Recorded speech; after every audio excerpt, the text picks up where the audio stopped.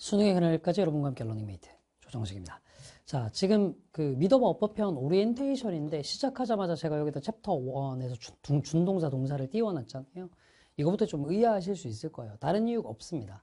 이게 제 어법 강좌만 하더라도 두 종류가 있죠. 믿어봐 어법편이 있고 괜찮은 어법편이 있고 그 두 종류가 있어요. 그리고 저 말고 이제 다른 선생님들도 이런저런 어법과 관련한 강좌들을 많이 낼 거고요. 그런데 일단은 다른 선생님들과 조정식의 어법 강좌는 뭐가 다르냐? 혹은 뭐 미더버 어법 편과 네가 진행하는 또 다른 괜찮은 어법 편의 차이는 뭐냐? 여러분들 실질적으로 고민하는 건 그거거든요. 어쨌든 지금 같은 시대에 여러분들이 이제 그 강의를 어느 정도 꼼꼼하게 다 들어보고 난 다음에 강의를 결정하는 그런 시대가 아니라 패스로 일단 강의부터 담아놓는 이런 시대에는 강의에 대한 정보를 먼저 알아놓고 강의를 듣는 게 아니다 보니 듣다가 중간에 막, 아, 이거 나한테 안 맞는데 하고 하는 경우들이 되게 많아요. 저는 그런 식으로 이제 시간적인 낭비를 줄이기 위해서 OT에서부터 그냥 여러분들한테 강의를 보여드리려고 합니다. 그래서 이거부터 띄워놨어요. 일단 결론적으로 두 갈씩처럼 설명을 드리면 직접 보시면 알겠지만 이 미더바 어법편은 애초에 어법에 대한 세세한 개념을 설명하기 위한 강좌가 아닙니다. 그러니까 실제 영어 문법이라는 영역이 영어 문법이라는 게 되게 방대한 영역이겠죠. 영어 문법이라는 게 이만한 영역이라고 친다면 제가 이제 비유적으로 표현하는 겁니다만 학교 내신에서 다루는 문법의 영역은 조금 약간 좀 이상해요. 이렇습니다. 이게 뭐 오히려 실질적인 영어 문법의 영역을 초월하는 것들도 초과하는 것들도 들어가 있죠. 초과하는 게 들어가 있다는 게 이제 어떤 거냐면 특히나 이제 뭐 중학교 때 혹은 고등학교 저학년 때 1학년 때 그런 경우들이 많은데 내신에서 이제 변별력을 확보하기 위해서 뭐 예를 들면 문장과 문장을 같은 의미의 다른 문장으로 바꾸는 거죠. to, to를 뭐 so that can't로 바꾸던가, 바꾼다던가 혹은 이제 완료 시제에서 계속 경험 결과 완료적 영법을 구분한다던가 뭐 이런 것들이 사실은 실제로 원어민들도 잘 모르는 문법적인 내용들인데 좀 들어가는 경우들이 좀 있어요. 그래서 내신 영어 문법은 이 정도 범위라고 얘기를 한다면 수능 문법은 사실은 다루는 내용이 한 이 정도에 걸쳐져 있거든요. 내신보다 훨씬 더 범위가 적어요. 내신보다 훨씬 더 범위가 적어요. 그러다 보니까 여러분들한테 영어 문법의 이제 모든 부분을 방대하게 다뤄드릴 필요는 없습니다. 예를 들면 수능에서 관사 파트 있죠. 어랑 더의 사용과 관련한 부분. 이게 2005학년도 평가원 모의고사에서 딱 한 번 나온 적은 있습니다만 그 전후로는 나온 적이 없어요. 그리고 일반적인 교과관에서 다루어지지도 않고요. 그러니까 여러분들 이제 어렸을 때부터 많이 배웠던 뭐 셀 수 있는 명사와 셀 수 없는 명사의 구분 이것도 수능에서 제대로 출제된 적이 없습니다. 수능에서는 아예 없고 평가 모의고사는 딱 한 번 있어요. 그러니까 이러한 파트들은 최대한 배제하고 실제로 나올 수 있는 어법 문제들의 실질적인 시험장식 접근 방식을 가르치는 게 이 수업입니다. 다시 한번 말씀드릴게요. 수능이 다루고 있는 어법 영역은 생각보다 되게 컴팩트하고 정해져 있는 테마들이 있습니다. 거기에 맞는 영역들만 가르치는 게 이 수업의 목적이에요. 다만 이런 건 있습니다. 사실 저희 같은 사람들은 평가원이 어떤 생각으로 문제를 내는지 정확하게 알 수가 없습니다. 이건 냉정하게 말씀을 드릴게요. 여러분들 실망하셔도 어쩔 수 없어요. 왜냐하면 2012년 이후로 평가원은 출제 매뉴얼이라는 걸 외부에 공개하지 않고 있어요. 2012년까지만 해도 제가 강사 생활 하던 초창기인데 그때까지만 해도 평가원은 출제 매뉴얼을 외부에 공개를 했었거든요. 그 다음부터는 평가원 출제 매뉴얼이 공개가 되지 않습니다. 그러니까 저희는 평가원이 어떤 생각을 가지고 문제를 출제했는지를 알 수 없는 사람들이요. 다만 기출 문제를 보면서 어 평가원의 생각이 이런 게 아닐까라고 귀납적으로 추측해 보는 것 뿐이죠. 평가원의 그림자를 이제 쫓아가는 것 뿐인데 그런 차원에서 그런 견지에서 좀 말씀을 드려보면 요 최근에 평가원이 내는 어법 문제는 확실히 조금 더 옛스러워졌다라는 느낌이 좀 들어요. 한때 이제 2010년대 중반부터 2020년대 초반까지 그러니까 절대평가가 막 도입되는 그 시점까지만 해도 평가원은 문장의 전체 구조를 파악해서 동사가 들어가야 될 자리인지 아닌지를 판단하는 능력, 그다음 능수동을 묻는 능력 이런 이제 통사론적 구조의 문제들을 되게 많이 출제를 했었는데 여전히 이제 통사론적인 것들을 많이 내긴 하지만 이것들이 조금 디테일한 부분으로 좀 변화했어요. 어, 재작년 수능 같은 경우는 뭐 제기대명사를 쓸 수 있냐 없냐. 작년 수능 같은 경우는 아예 대놓고 이제 위치의 사용이 얼바른이 아니냐 뭐 이런 것들 물어봤단 말이에요. 이게 사실은 조금 말하자면 이게 표현이 좀 웃기긴 한데 수능의 초창기에 더 가까운 한 94, 5학년도 요때쯤 나오던 문법 문제들이 다시 좀 부활을 하고 있거든요. 문법은 확실히 제가 좀 느끼는 게 뭐냐면 특별하게 트렌드가 있어서 이 패턴만 쭉 익히고 한 되는 게 아니라서 최근에 몇 개년의 기출만 모르는 애는 좀 한계가 있다고 생각합니다. 그래서 이 책은요. 1994학년도에 수능이 처음 출제됐을 때부터 2024학년도까지 그러니까 수능의 31년간의 역사에서 나왔던 평가원이 냈던 모든 문제들을 다 다룰 겁니다. 됐죠? 음. 그래서 이 책은 다시 한번 첫 번째 실, 아, 잠깐 한번 적어볼까요? 첫 번째 이 강좌와 이 책은 첫 번째 어, 실전적인 문제 풀이법을 다루게 될 거고요. 실전적인 문제 풀이법을 다루게 될 거고요. 두 번째, 수능이 처음 출제됐던 94학년도부터 2024학년도까지의 평가원이 출제했던 모든 문항을 단순히 이제 실제 문항의 형태가 아니라 문장별로 바로 해체해서 어 제가 다뤄드리는 방식으로 가도록 하겠습니다. 그리고 말미에 말미에 어, 조금 더 난이도가 높은 문제들로 풀어보기 위해서 사관 기출 문제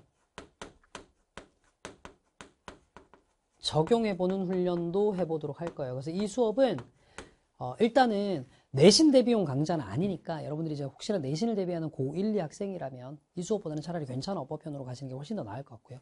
수능 문법을 대비하는 학생들만 들으시면 될 것 같고 사관이나 경찰대를 대비하시는 분들도 충분히 효과를 볼 만한 수업일 겁니다. 뭐 말로 하는 것보다 직접 보여드리는 게 낫겠죠. 네가 수업을 어떻게 하는데 지금부터 보여드리도록 할게요. 챕터 1은 준동사와 동사인데 이 파트가 지금까지의 수능의 기출들을 쭉 따져봤을 때 출제량이 가장 많은 부분이라서 먼저 넣어놨어요. 용어가 조금 까다롭죠. 준동사는 뭐고 동사는 뭐냐 이런 건데 이렇게 생각하시면 돼요. 애초에 준동사라는 건 일단 첫 번째 동사와 비슷하긴 합니다. 근데 실제 동사는 아닌 거죠. 네, 쉽게 생각하시면 돼. 준우승, 준우승. 자, 준우승이라는 건 여러 참가자들 중에서 우승에 가장 가까운 위치에 있는 사람이에요. 그렇다고 해서 준우승이 진짜 우승은 아니죠. 딱 그런 느낌이에요. 그래서 준동사도 뭐냐면, 아, 동사의 기반을 두고 모양을 아, 죄송해요. 모양이 아니라 동사의 기반을 두고 동사가 아니도록 사용하는 것을 얘기해요. 와, 말이 되게 어렵다. 우리말로 얘기 한번 해볼까? 책을 읽다.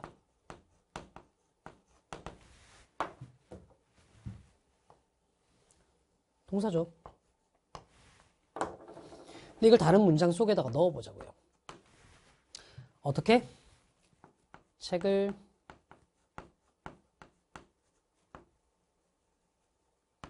은 중요하다.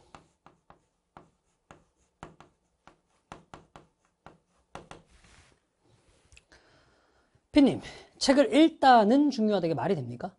미친 소리죠, 그렇죠? 읽다를 어떻게 말로 바꿔야지 자연스럽나요? 책을 그쵸 읽는 것 이렇게 해야 책을 읽는 것은 자연스럽 읽는 것은 중요하다. 내용이 자연스러워진다고요. 보세요. 동사에 기반을 해서 말을 만들 때 실제로 얘는 동사가 아닌 것으로 만들어졌잖아요. 이런 걸 이제 우리는 준동사라고 하는 겁니다. 영어에도 이런 준동사가 있어요. 오케이? 요 준동사에 대해서 먼저 다뤄보도록 할 거예요. 그쵸? 음. 자, 여기서 절대 원칙은 뭐냐면, 어머나, 문장의 동사는 무조건 한 개가 있어야 한다는 겁니다. 됐죠? 문장의 동사는 무조건 한 개가 있어야 한다는 거예요. 단, 단, 단, 단.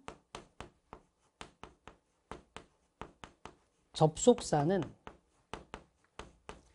동사의 개수를 추가해줘요. 여기에서 얘기하는 접속사가 뭔데?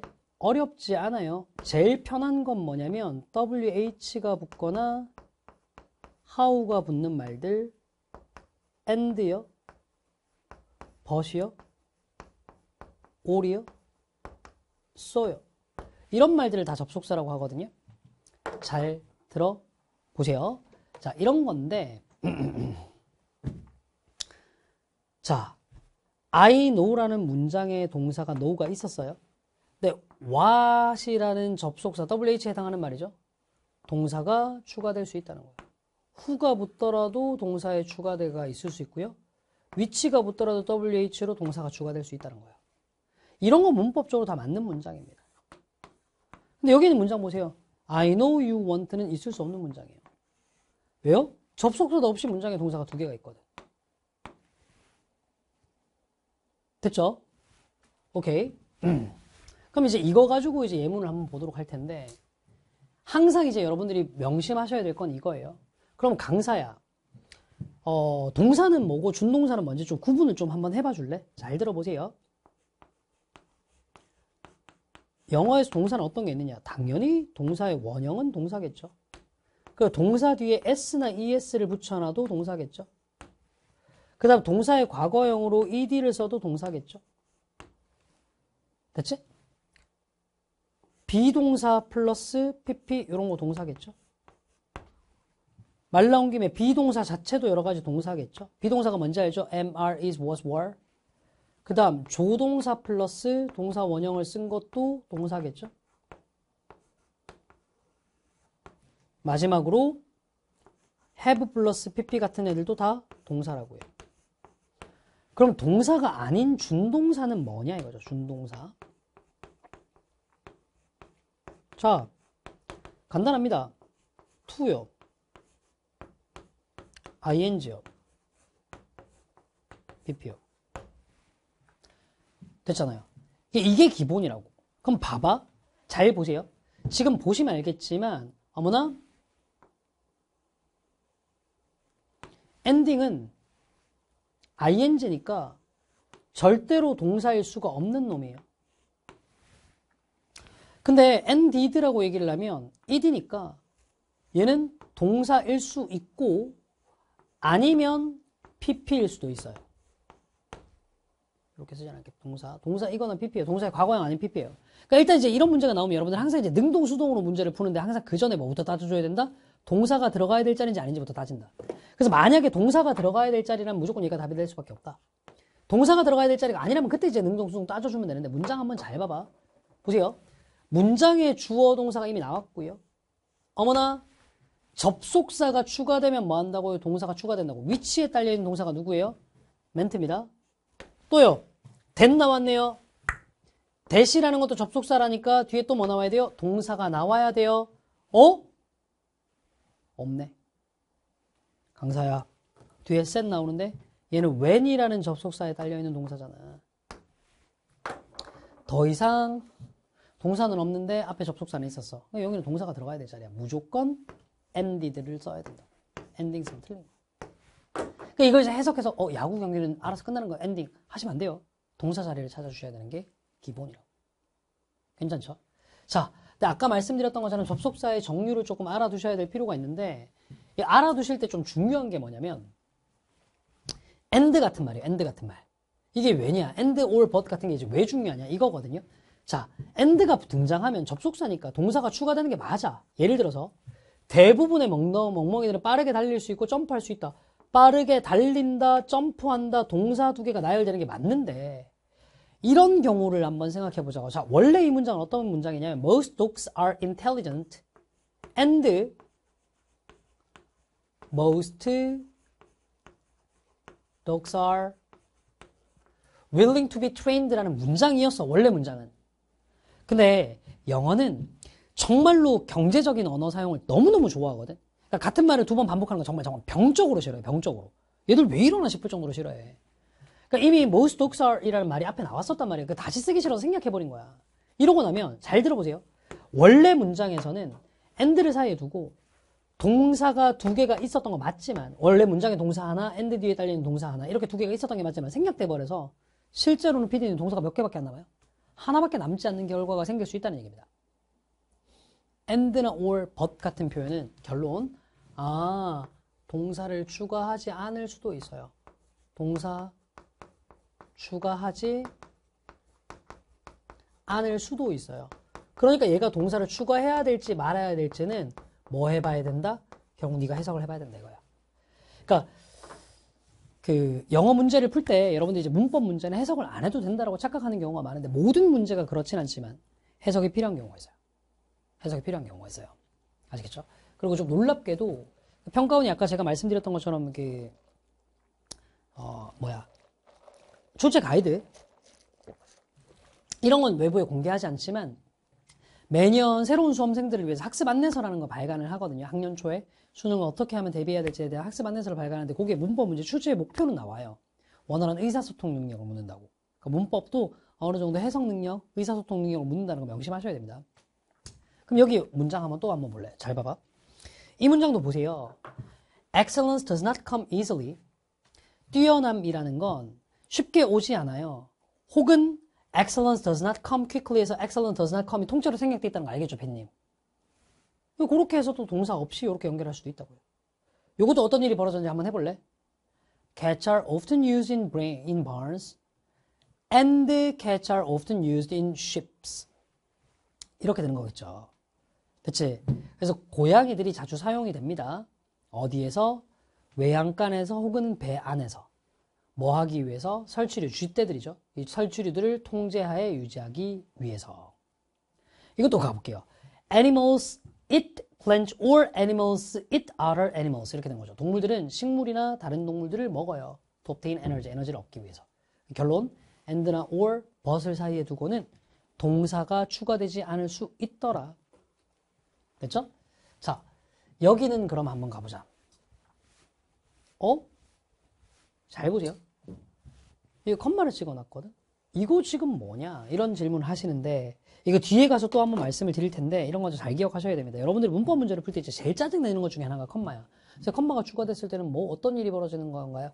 예, 컴마 용법이 여러 개가 있는데, 필요할 때 하나하나씩만 따로따로 배워가세요. 자, 컴마가 end나 or의 역할을 할 수 있어요. 어떨 때?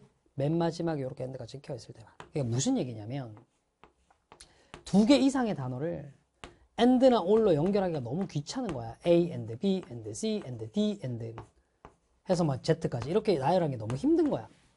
그럴 때 귀찮아서 중간중간에 찍혀 있는 컴마가 그렇게 귀찮을 때 중간중간에 찍혀 있는 컴마가 and나 or의 역할을 and나 or의 역할을 and나 or의 역할을 대신할 수 있는 겁니다. 무슨 말인지 이해가 가시나요? 자, 그럼 이제 이 문장 같은 경우는 요게 and의 역할을 대신하는 거죠. 그럼 봐봐. 운전자들은 must get off the car. 자동차에서 나와야만 합니다. 그리고 주유를 해야만 합니다. 그리고 돈을 내기 위해 부스로 가야만 합니다. 해서 원래 문장에 동사가 있고 and 뒤에 동사, and 뒤에 동사가 또 있는 맞는 문제가 되겠습니다. 통과. 어, 잠시만요. 오늘 이 여기 책에서 미리 얘기를 할 텐데 어차피 문법 문제는 패턴이 두 가지거든. 요새 수능에 거의 대부분 나오는 이렇게 밑줄 친 OX 문제가 나오거나 아니면 이제 안 나온 지가 좀 되긴 했지만 아까 나왔던 것처럼 이 네모 박스 안에서 둘 중에 올바른 거 골라라. 이게 이제 문법 문제 두 가지 패턴인데 이 OX 문제를 이 책에 있는 걸 풀다 보면 조금 이상한 느낌이 좀 들 거야. 뭐냐면 아니 이상하게 O가 X보다 더 많아. 그러니까 왜 그러냐 실제로 문제가 출제되는 패턴을 생각해 보시면 돼요 요새 나오는 수능의 문제가 어법 다섯 개를 보고 어법상 올바른 걸 고르랍니까? 아닌 거 아시죠? 다섯 개 중에 틀린 걸 골라라잖아. 그럼 그걸 뒤집어서 얘기하면 다섯 개 중에 네 개는 뭐인 거예요? 맞는 거죠. 실제로 수능에서 출제되는 밑줄 어법 문제는 80%의 확률로 올바른 게 훨씬 더 많아요. 근데 여러분들이 이제 시중에 있는 문제집을 풀, 자꾸 풀다 보면 그게 잘못됐다는 거 아닙니다. 심리적으로 어떻게 될 수 있냐면 자꾸 어떻게든 틀린 걸 찾으려고 해요. 왜냐하면 시중에 나오는 문법 문제는 보통 문법적으로 틀린 부분에 밑줄을 쳐놓고 문제를 많이 출제를 하니까. 이게 내신형에는 더 맞거든. 근데 자꾸 이제 그렇게 연습을 하다 보니 시험장 들어가서 어떤 일이 생기냐면 수능이나 모의고사 시험장 들어가서 어떤 일이 생기냐면 실제로 나는 그냥 틀린 걸 찾아야 되는데 대부분의 어법은 80% 확률로 맞아요. 아니 다섯 개 중에 네 개는 맞는 거라니까. 근데 어떻게든 조금만 이상해 보면 틀렸다라고 의심만 하, 의심부터 하려고 하는 거야. 그러다 보니까 맞는 것도 틀려 보여요. 심리적으로 그러다 보니까 되게 힘들어지는 경우들이 많습니다. 그래서 어법은 맞는 게 밑줄 친 어법 문제는 맞는 경우가 훨씬 더 많도록 다루는 게 정상입니다. 수능을 대비할 때는요. 저도 내신 강의에서는 이렇게 하지 않습니다. 괜찮은 어법은 그렇게 진행 안 하는데 미덕 어법은 그래서 문제를 풀다 보면 밑줄 친 부분은 5가 훨씬 더 많을 거예요. 왜냐하면 실제 시험 문제 그렇게 나오니까요. 오케이? 자, 다음 문제도 한번 가볼까요? 음. 자, 아까 말씀드렸듯이 WH나 that, how 이런 것들이 전부 다 접속사의 역할을 한다라고 했죠. 이런 거. 그게 형용사절 명사절이에요. 자, 여기 한번 볼게요. WH가 붙었습니다. 동사가 추가되죠. 대시 붙었습니다. 동사가 추가되죠. 지금 우리가 해석법을 배우는 수업은 아니니까 요 파트는 해석 안 하겠습니다. 자, 다시 동사가 추가될지 안 될지를 해석해야 되는 파트는 and나 버시나 or를 썼을 때 뿐이에요. 바로 한번 가볼게. 잘 봐봐. ing는 동사가 아니고요. demonstrate는 동사가 맞습니다. 그럼 이제 이거 어떻게 구분할 것이냐? 잘 보세요. 일단 and가 있으니까 여기는 좀 신경을 써야 될 것 같은데 얘가 문장의 동사거든요. 심리학자들은 수십 년간의 연구와 more than thousand studies, 아, 천 개 이상의 연구들을 지적합니다라고 해서 여기 end 다음에 동사가 추가되는 거 아니에요. 여기 대시 붙었네. that 뒤에는 무조건 뭐가 붙어야 돼? 동사가 추가돼야 되는데요. 애초에 지금 동사가 없는 거야. 무조건 demonstrate를 써줘야 되겠네요. 볼 것도 없다. 됐죠? 오케이. 자, 부사절의 접속사라고 되어 있는데요. 얘들은 다 일단은 외우셔야 됩니다. 일단은 외우셔야 되는데 이걸 막, 막, 막 외우려고 하기보다는 자꾸 문제를 풀다 보면 보여요. 예컨대 because 같은 거는 뒤에 주어 동사 나오는 접속사거든요. 그래서 보시면 no라는 문장의 동사가 있고 what에 떨려있는 동사로 want가 있고 because에 달려있는 동사로 have said가 또 있는 거예요. 이런 패턴을 한번 보시자 이겁니다. 됐죠? 자, 요 문제를 그러면 한번 보도록 해볼게요. 제가 시간을 드려볼 테니까 포즈 버튼 누르고 문제를 한번 풀어보세요. 시작. 됐죠? 자, 바로 한번 가보도록 할게. 봐봐. 이미 문장에 동사가 있어. 그 다음, if가 있다고요. 자, 우리 앞에서도 봐서 알겠지만 if 뒤에도 동사가 추가돼야 돼요. if 뒤에 동사가 추가됩니다. 좋아요. 어머나, 대시 있어요. that 뒤에도 명사가, 동사가 추가돼야 되잖아. 어디니? is derived. 있다고요. 어? 그럼 봐봐. 피님, 문장에 동사가 있고요. 접속사 각각에 딸려있는 동사가 다 있어요. 동사가 추가돼야 될 이유가 없죠. 그러면 동사가 아닌 미닝을 쓰는 건 좋다 이거예요. 통과. 됐죠? 오케이. 이렇게 문제를 풀 줄 아셔야 된다니까. 자, 근데 접속사가 생략될 수 있어요. 그러니까 여, 여러분은 이제 그냥 통상적으로 대세 생략이라고만 알아두시면 되는데 요 구간만 잘 유의하셔야 돼. 잘 보세요. 여기서 주의해 볼게요. 대시 아이고 줄이 안 맞아. 미안해. 대시 생략되는 경우.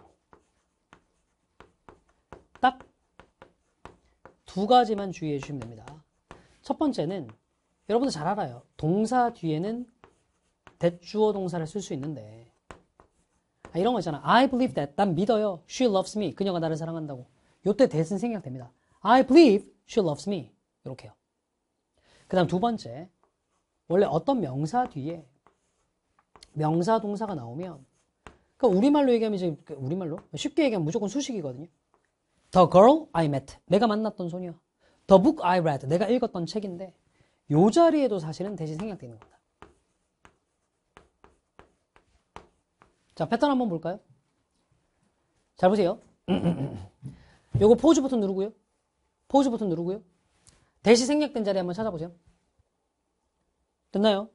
자, 어딘가요? 여기요. 아니, 동사를 쓰고 you remember 이렇게 쓴 거잖아. 됐죠? 자, 그러면 이거 OX도 판단해 봅시다. 시작. 잘 보세요. 여기서 여러분들이 이제 그냥 밑도 끝도 없이 그냥 푸는 게 아니라 생각하셔야 될 게 이거라니까. 일단 얘는 뭘로 생각할 수 있냐면, 어? 당연히 동사의 과거형으로 생각할 수 있겠죠. 이디니까. 근데 동시에 뭘 수도 있나요? 이디니까 PP일 수도 있잖아요. 이것까지도 염두에 놓고 가는 겁니다. 그럼 봐봐. 이미 문장의 동사는 있고 대세 딸려 있는 동사도 또 있어. 추가로 지금 접속사는 없잖아. 그러면 얘들아 동사가 추가돼야 될 이유는 없어. 죽었다 깨나도 얘는 동사의 과거형이 아니라 PP겠네. 요 정도는 상식으로 알 거라고 생각하거든. PP 능동이야, 수동이야? 수동이야. 피디님, 세탁기가 우리를 제공하는 거예요? 우리에게 제공된 거예요?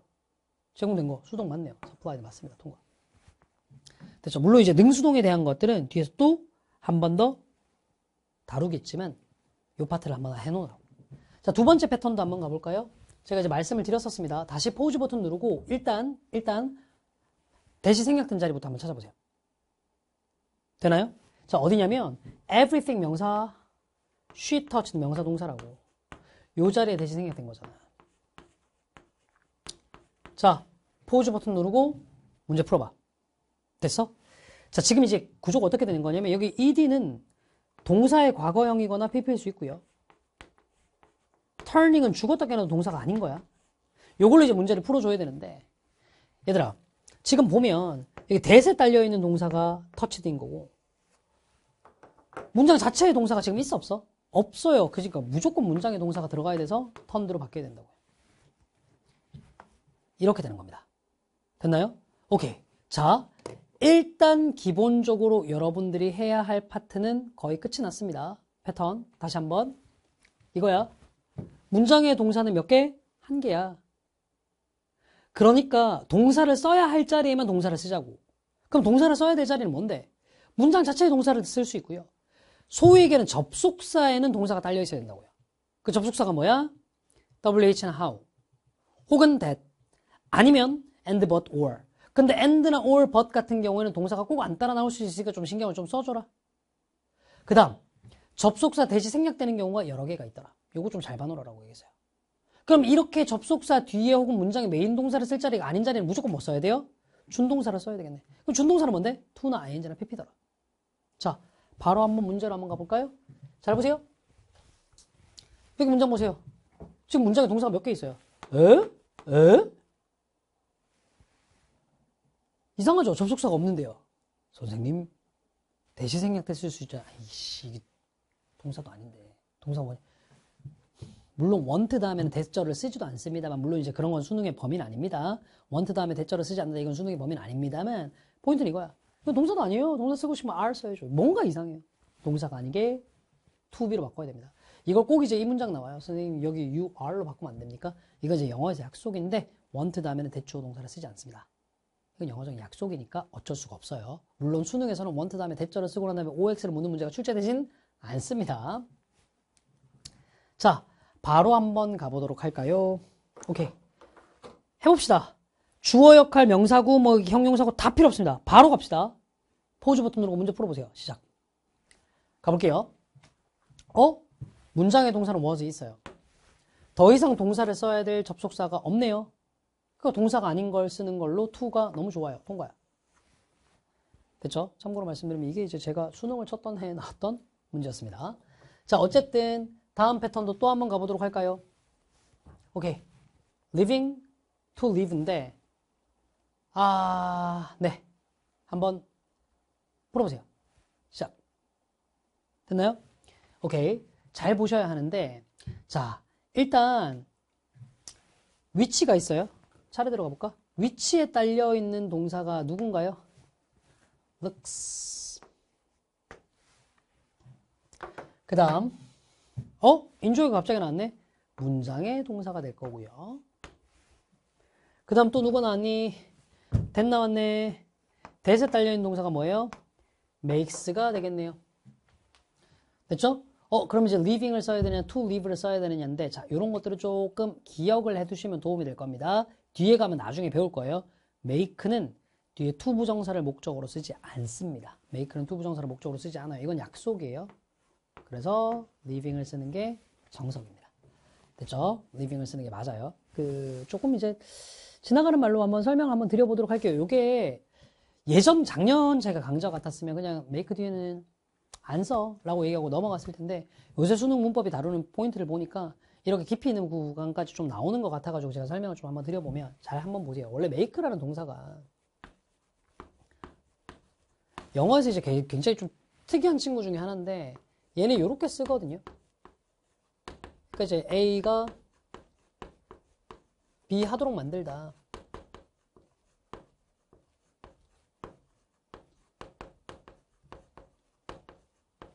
라는 의미로 써요. 그러니까 이런 거 있죠. I will make you happy. 나는 네가 행복하도록 만들어 줄게. I will make 내가 만들게 you happy. 네가 행복하도록. 이렇게 되는 문장인데 이 문장을 조금 전환해서 이렇게 한번 써보자고. 그러니까 포인트는 뭐냐면 여기 A 자리에 그러니까 you라는 명사가 아니라 어떤 동작을 넣는 거야. 예를 들면 책을 읽는 것이 행복하도록 만들게. I will make 책을 읽는 것 happy 이런 식으로. PD 무슨 말인지 알겠죠? 이런 식으로 책을 읽는 것이라고 바꿀 때 우리는 준동사라고 한다고 했잖아. 그 준동사가 to 아니면 ing를 쓴다라고 했잖아. 이렇게 써주면 될 거 아니야. 됐죠? I will make to read books. I will make reading books happy. 틀렸어요. 왜 틀렸냐? 다시 한번 얘기하지만 저 안 잡아주셔도 됩니다. 분필만 좀 가지고 올게요. 다시 한번 얘기하지만 make는요. 절대 뒤에 to를 쓰지 않도록 되어 있어요. ing만 맞다고. 그래서 I will make reading books happy. 요거는 됩니다. I will make to read books happy는 틀렸어요. 여기까지면 좋아요. 근데 여기서부터 이제 영어라는 언어에 이상한 점이 나오는데. 아니, make 다음에 to를 안 쓰기로 했잖아. 누가 정한 거야? 자기들끼리 정한 거야. 그 자기도 약속한 거야. 아, 누가 압박을 넣은 것도 아니라고. 프랑스 사람들이 칼 들고 가지고 누가 칼 협, 누가 칼 들고 협박했어? 아니야, 그냥 자기들이 정한 거야. 얘들 웃겨. 투를 쓰고 싶어진 거야. 너무 단순한, 너무 생각 이상하게. 그 투를 쓰고 싶으면 문법 규칙 바꾸면 될 거 아니야. 근데 아니야, 얘들은. 아, 투를 쓰고 싶은데? 쓰고, 쓰고 싶은데 어떡하지? 쓰라고 그냥! 그게 아니라 규칙을 정합니다. 메이크 다음에 투못 썼지? 응. 그럼 이렇게 하면 어떨까? it을 쓰는 거야. 그 it은 뭔데? 아무 의미 없어. 그러니까 뭔가 메이크 다음에 뭐를 만들었는지 목적어가 필요하니까 그냥 it을 쓴 거야. 아무 의미 없어요. 영어는 어순이 워낙 철저하고 중요한 언어다 보니 어순을 꼭 만들어내기 위해서 특별히 의미는 없지만 it을 쓰는 경우가 되게 많아요. 너네가 배웠던 거 한번 해볼까? 오늘은 토요일인데 어떻게 하니? Today is Saturday라고 써요? 아니요. It is Saturday today라고 쓰죠. 이때 it이 무슨 의미예요? 아무 의미 없다고요. 그러니까 왜 it을 그럼 제일 앞에 썼어요? 주어가 없을 수는 없으니. 주어가 있어야만 하니 it을 쓴 겁니다. 그 영어는 문법적으로 그냥 필요할 때 쓰는 게 it이에요. 얘도 똑같아요. 목적어 없을 수는 없으니 it을 쓴 겁니다. to를 바로 쓸 수 없으니까 to를 날려버리면 목적 없는 이상한 문장에 대해서 it을 쓴 거라고. 그 다음 B를 쓴 다음에 to를 이렇게 써요. 그래서 기억하세요. 나중에 보면 나올 겁니다. make 다음에 it 나오잖아요. 실제로 얘는 문법적으로는 의미 있지만 의미상으로 아무 의미가 없어요. 이런 걸 이제 우리는 다목적으로 하는 겁니다. 다시 한번 내가 책을 읽는 걸 행복하게 만들게. I will make reading books happy. 오케이. I will make it happy to read books. 괜찮다고요. 이 문장도 만약에 make 다음에 to live를 쓰고 싶었다면 that makes it pleasant to live here. That makes it pleasant to live here. 이라는 형태를 썼어야 했습니다. 됐죠? 중간에 조금 다른 얘기를 했어요. 다음 가봅시다. 계속 문제 포즈 버튼 누르고 풀어주세요. 시작. 오케이. 잘 보세요. 자, 여기서 여러분들이 이제 제일 많이 나오는 패턴 중에 하나, 여러분들이 제일 많이 질문하는 패턴 중에 하나인데, 여기 분명히 이제 전치사를 썼단 말이에요. 그리고 문장 자체를 보면 이미 문장에 동사가 있고요. 그 다음에 end에 대해서 딸려있는 동사가 warrant가 있고요. 이미 있을 게 다 있단 말이야. 그러니까 동사가 아닌 걸 쓰는 건 좋은데 전치사 뒤에는 명사를 써도 되고 ing를 써도 된다라고 배웠단 말이야. 이걸 도대체 어떻게 풀 거냐 이런 건데 자 준동사의 성향을 보세요. 잠시만요. 준동사는 어디에 기반을 두고 있다고 했죠? 동사에 기반을 두고 있다고 했죠. 여기서 되게 많은 게 설명이 됩니다. 잘 보세요. 원래 우리말로 생각해 봅시다. 읽다라는 말은 그냥 읽다라고 쓰이지 않고 책을 읽다라고 해서 목적어를 데리고 다녀요. 피님 이거 무슨 말인지 알겠죠? 그러니까 이 읽다를 뭐 읽는 것으로 바꾸더라도 책을 이라는 목적어는 그대로 따라다닙니다. 뭔 말인지 알겠죠? 그래요. 준동사는 동사에 기반을 했기 때문에 필요한 경우에 뒤에 동사가 달고 있던 덩어리를 그대로 달고 나옵니다. 이걸 저는 동사의 꼴이라고 얘기를 해요. 보편적인 용어입니다, 이것도. 예를 들면, 일로 와볼까요? 아까 make는 이렇게 쓴다라고 했잖아요. 얘를 to make라고 쓰더라도 뒤에 ab가 따라 나와요. making이라고 쓰더라도 뒤에 ab가 따라 나온다고요. making you happy, to make you happy 이런 식으로. 가볼까요? 그럼 지금 이 문제는 어떻게 되는 거냐면 어머나 뒤에 뭔가 목적어가 따라 나와 있단 말이야. 이지라는. 그래서 동사를 거야. 동사에 ing를 붙여야 된다니까? 아니, 강사야. analysis를 쓰면 그냥 명사잖아. 명사 두 개를 어떻게 나란히 써? analysis is라는 거 있을 수 없다니까? 오케이? 아, 결론. 자, 시험 문제에서요. 전치사가 주로 앞에 나왔을 텐데, 그 다음에 그냥 명사를 쓸래? ing를 쓸래를 구분하는 문제는 잘 들어보세요. 요 뒤에 목적어가 바로 따라 나와 있으면 무조건 ing. 뒤에 목적어가 따라 나와 있지 않으면 그냥 명사를 써버리면 되는 겁니다. 요걸로 구분하라는 문제예요. 알아둡시다. 자, 다음요. 계속 말씀드리지만 저는 좀 실전적인 패턴으로 설명을 좀 드릴 건데 요게 이제 시험 문제에 좀 나오는 경우들이 있어요. 아, 조금 좀 올드하긴 합니다. 그러니까 뒤에 to가 나오느냐 ing가 나오느냐에 따라서 의미가 달라지는 건데 결론적으로 얘기해 줄게요. 자, 동사 다음에 ing가 나오면요. 조금 현재나 미래성을 담고 있어요. 아, 현재를 미래는 현재는 과거성을 담고 있어요. 미안해 말을 잘못했다. 현재성은 과거성을 담고 있어요. 근데 동사 다음에 to가 나오잖아요. 미래성을 담고 있어요. 자, 얘기 한번 해볼게. stop ing잖아. 과거부터 현재까지 하던 일을 멈추는 거예요. I stop, I will stop teaching English. 나는 영어를 가르치는 일을 하고 있는데 이 일을 하는 걸 멈출 거야. 근데 stop to라고 얘기하면 내가 원래 하던 일이 있거든? 그걸 멈추고 미래에 어떤 일을 할 거란 얘기입니다. I will stop. 나 하던 일을 멈출 거예요. to 뭐, 뭐 해볼까? 어. Parent my kids. 내 아이들을 양육하기 위해서. 내가 지금까지 하던 일 멈추고 아이들 양육에만 집중할 거란 얘기가 되는 겁니다. 양육을 멈추겠다는 의미가 아니라고요. 피디 무슨 말인지 알겠죠? forget, remember 다음에 ing요. 과거에 내가 어떤 일을 했었어. 그걸 잊어버렸다요. I forgot having dinner with her. 나는 실제로 그녀와 저녁을 먹었는데 그 저녁을 먹었다는 사실을 까먹었다. I remember having dinner with her. 나는 그녀와 저녁을 먹었다는 사실을 기억하고 있다. 근데 뒤에 to가 나오잖아요. I forgot to have dinner with you, with her. 아직 저녁 안 먹었는데 저녁을 먹기로 약속했거든. 근데 그랬 약속을 한 걸 까먹은 거예요. I remember to have dinner with her. 그녀와 저녁을 먹을 걸 약속했다라는 사실을 기억하는 거예요. 마찬가지 regret 다음 ing 과거 했던 일을 후회하는 거예요. I regret having dinner with her. 하, 내가 그녀랑 저녁을 먹었던 게 너무 후회돼. I regret to have dinner with her. 아, 그녀와 저녁을 먹기로 아직 안 먹었지만 저녁을 먹기로 미래 약속해 놓은 게 너무 후회돼. 이런 느낌이라고. 됐죠? 현재와 미래입니다. 느낌 그대로 볼게요. 자, 요거 한번 pause 버튼 누르고 풀어보겠습니다. 시작. 됐나요? 자, 볼게요. 가난한 심바가 아니고 불쌍한 심바입니다. 이 심바 사자예요. 불쌍한 심바는 고개를 들어 올리지도 못했어요. 마침내 심바는 멈췄습니다. 아니, stop to breathe 하면 원래 하던 일을 멈추고 잠깐만요. 잠깐만 멈출게요. 이거 숨, 호, 숨을 쉰 거거든요. 근데 이거 말 되나요? 이상하죠. 고개를 들지도 못하다가 호흡하는 하던 걸 멈췄다 이렇게 돼야 되지 않나요? to breathing, to breath가 아니라 to breath가 아니라 breathing으로 바꿔야 되겠네요. breathing.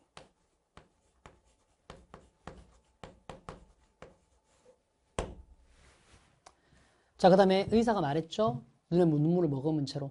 저 유감입니다. To tell you, 당신에게 말하게 될 것이. 신바가 죽었다고. 그러니까 아직 당신한테 말 안 했는데, 이제부터 신바가 죽, 죽었다고 나에게 말을 하게 된다는 사실이 되게 유감스러워요. 됐죠? 너무 좋네요. 본과. 이렇게 되는 거라고요. 됐죠? 자, 뒤쪽도 패턴은 똑같으니까 빠르게 한번 가보도록 하겠습니다. 포즈 버튼 누르고 문제 푸세요. 시작. 됐나요? 자, 여기 보시면 둘의 차이가 뭐냐 이건데 그냥 스펜트니까 얘는 동사의 과거형일 수도 있고 PP일 수도 있어요. 근데 얘는 무조건 동사죠. 비동사 플러스 PP니까. 그러니까 그거부터 따져줘야 돼. 동사가 들어가야 되느냐 말아야 되느냐. 잘 봐봐. 지금 문장 자체의 동사로 has been이 있어요. 됐죠? 어머나. 그리고 and 있잖아. 이 and에 딸려있는 동사로 have migrated가 있단 말이야. 그럼 더 이상 동사를 써야 될 이유는 없죠. 그러니까 절대로 동사가 들어갈 수는 없으니 동사가 아닌 걸 써야 되겠네. pp인, spent를 써야 되는 거예요. 납득되시죠? 다음 패턴 한번 가보도록 하겠습니다. 자, 이것도 일단 부사 자리 이런 말에 집중하지 말고 포인트만 잘 보세요. 이런 겁니다. 뭐냐면 위의 문장 같은 경우는 여기 접속사 다음에 동사가 있었던 거예요. 당연히 이제 대세 딸려있는 동사 있고 문장에 동사 있고요. 근데 보세요. because라는 접속사를 없앴잖아요. 그러니까 여기 동사가 아니라 ing로 모양을 바뀐다고.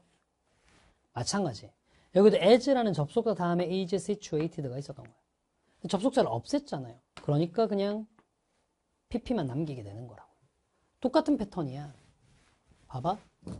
because는 접속사가 있었으니까 요 뒤에 주어 동사가 있었던 건데 접속사를 없애버렸잖아요. the work done. 그냥 pp만 남겨놓는다고요.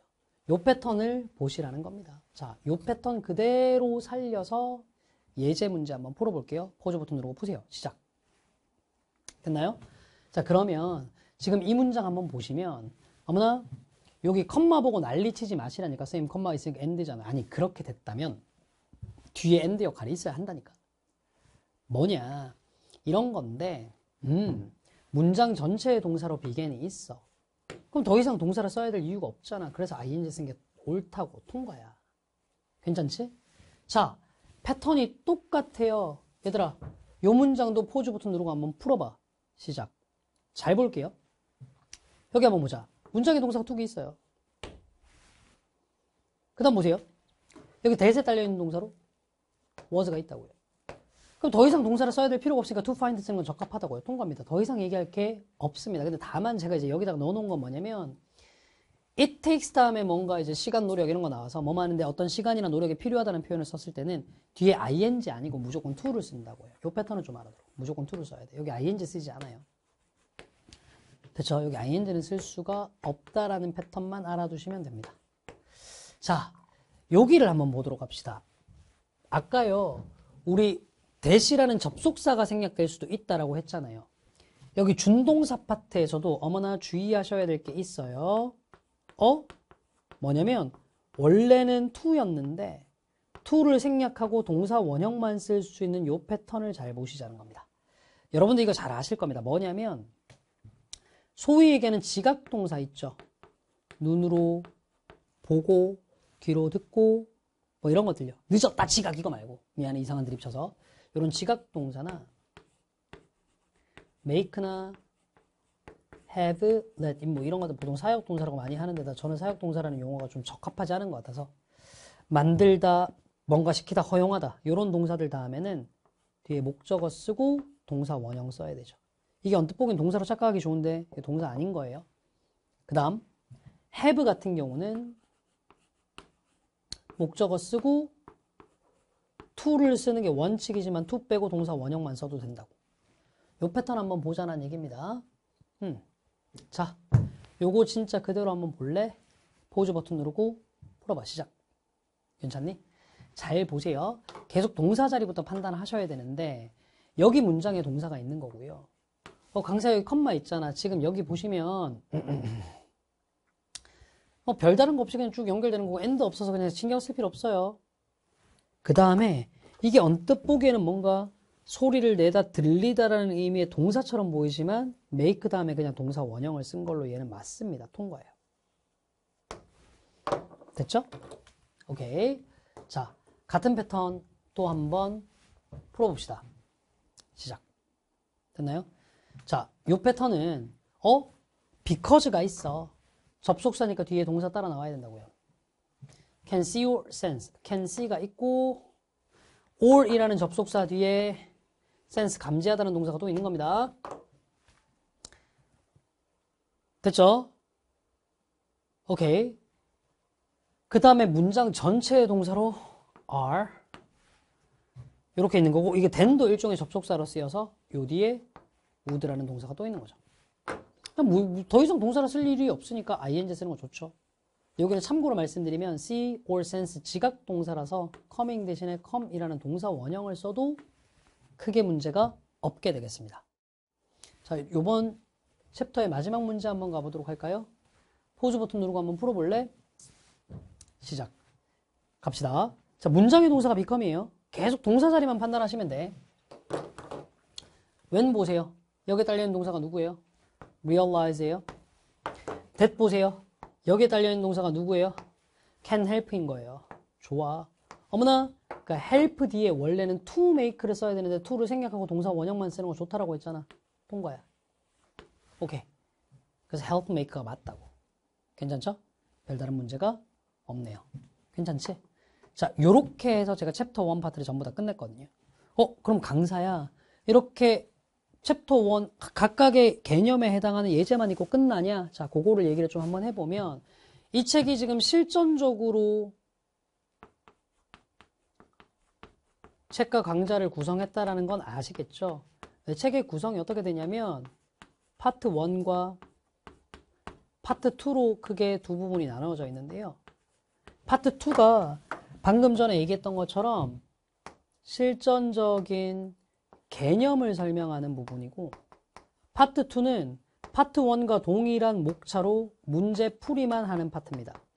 그래서 앞쪽에서 지금 파트 1에서 우리 동사와 준동사를 구분하라는 문제가 어떤 개념인지를 설명을 해줬잖아. 동사라는 건 문장에 무조건 하나 있어야 되고 접속사가 추가될수록 점점 더 추가되어야 하는 걸 얘기하는 거다. 준동사라는 건 to나 ing나 pp를 얘기를 하는 거다.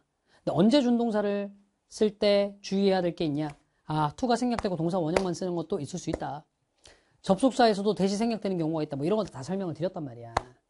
요 패턴들이 뒤에 파트 2가 가잖아요. 문제로 쫙 나열돼서 나와요. 94학년도부터 2024학년도 수능까지 나왔던 문제들 중에 여기에 해당하는 문제들 쫙 딸려서 나온다고요.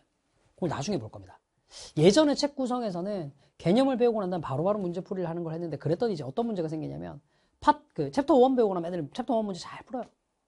챕터 3쯤 가잖아요. 챕터 1에서 배웠던 내용을 다 까먹는 거야. 이게 이제 골치가 아파지는 거죠. 왠지 알겠지? 수능에서는 어떤 개념이 어떻게 나올지를 알 수가 없으니까. 그래서 이제 제가 조금 부탁을 드리는 게 뭐냐면 누적해서 복습을 할 수 있는 체계를 만들자.